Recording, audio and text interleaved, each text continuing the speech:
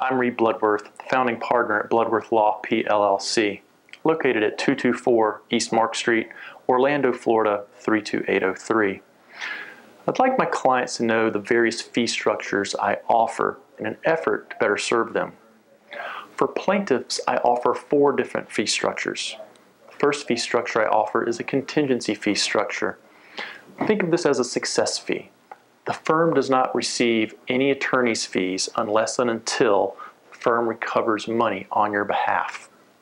The second option is a straight hourly fee. This is the traditional model for attorneys. I bill for the amount of time spent working on your file.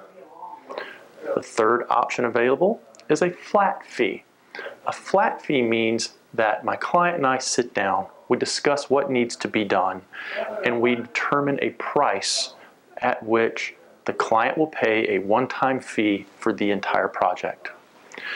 Finally, I offer hybrid fees.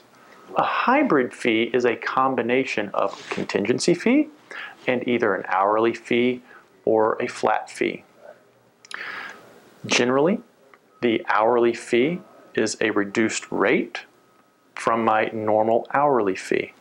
And then at the end of the case, for any recovery received, I would take a smaller contingency fee than I would if it was a complete contingency fee case.